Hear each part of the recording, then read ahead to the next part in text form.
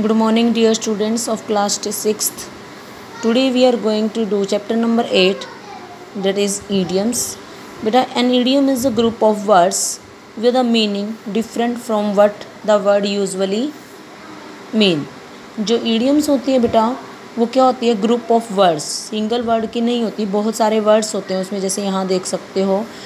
और उनका जो मीनिंग है अगर जो हम इकट्ठे देखें तो कुछ, कहते कुछ और हैं, और होता कुछ और है मीन्स यूजुअल जो मीनिंग है, उससे हटकर मीनिंग होता है।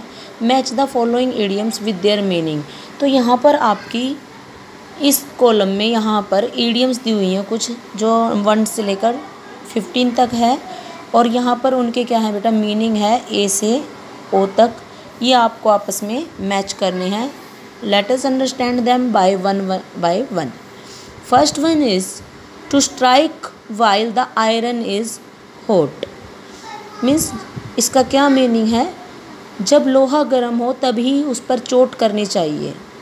और इसका मीनिंग यदि हम बोलना चाहें तो क्या है? यानी कि जब भी भी हमें मौका मिले तो उसको हाथ से जाना नहीं चाहिए। फ़र्स्ट का, to seize a good opportunity with when it comes. कि अच्छी जो अपॉर्चुनिटी है मौका है, उसको ले लेना चाहिए जब भी भी वो आता है, उसी टाइम।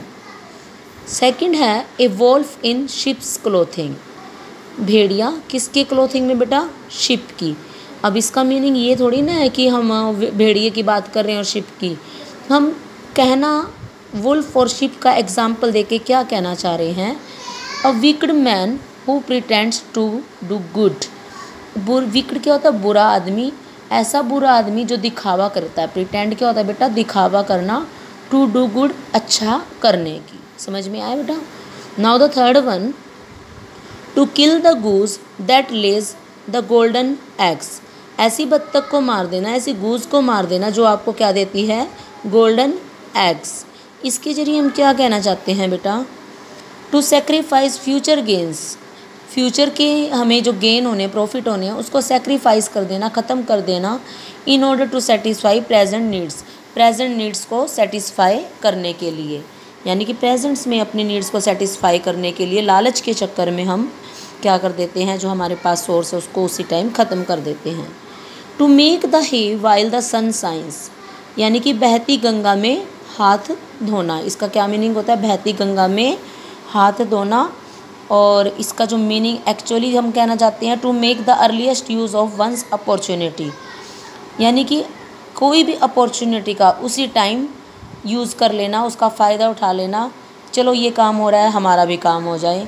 तो उसको बोलते हैं to make hay while the sun shines to beat around the bush यानी कि बातों को गोल गोल कहना, सीधे तरीके में ना कहना। और इसका मीनिंग है बेटा not speaking directly about the issues जो भी मैटर है इशू है, उसके बारे में डायरेक्टली बात ना करना। To kill two birds with one stone. एक पथ, दो काज, यानी कि दो पक्षियों को मारना एक ही पत्थर से, और हिंदी में आप इसको यूज़ करते हैं, एक पंथ, दो काज। To gain two benefits at the same time. Same time पर एक ही काम करके आप दो बेनिफिट्स जब लेते हो, वो उसके लिए आप क्या वर्ड कर सकते हो?